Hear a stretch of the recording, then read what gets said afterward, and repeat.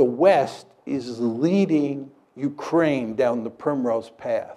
And the end result is that Ukraine is going to get wrecked. And of course, the Ukrainians are playing along with this. And the Ukrainians are almost completely unwilling to compromise with the Russians and instead want to pursue a hardline policy. As I said to you before, if they do that, the end result is that their country is going to be wrecked. Russia is a great power, and it has absolutely no interest in allowing the United States and its allies to take a big piece of real estate of great strategic importance on its western border and incorporate it into the West.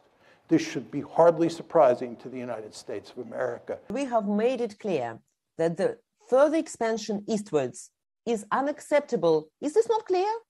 It's not us who are deploying different missiles on the border of the United States. No, no, no. It's the United States are deploying their missiles right on our frontier, right uh, in our backyard.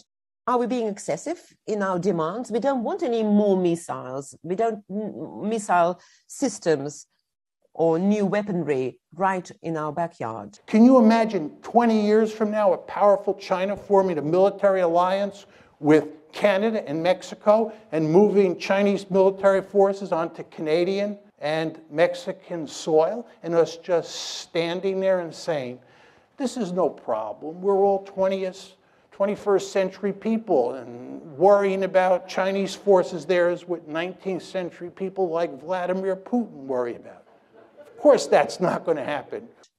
What would their reaction be if we were to come and on the border between the United States and Canada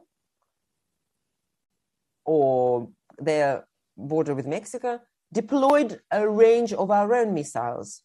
So nobody should be surprised that the Russians were apoplectic about the idea of us putting Ukraine on the western side of the ledger. The policy that I'm advocating, which is neutralizing Ukraine and then building it up economically and getting it out of the competition between Russia on one side and NATO on the other side is the best thing that could happen to the Ukrainians. Whatever you think about Putin, think he's the worst monster since Hitler, they still have a case. And it's a case that no Russian leader is going to back down from. They cannot accept the Ukrainian uh, move of the current government to join uh, NATO. There is a very natural settlement to this issue, a strong declaration that Ukraine will be neutralized. It won't be part of any military alliance.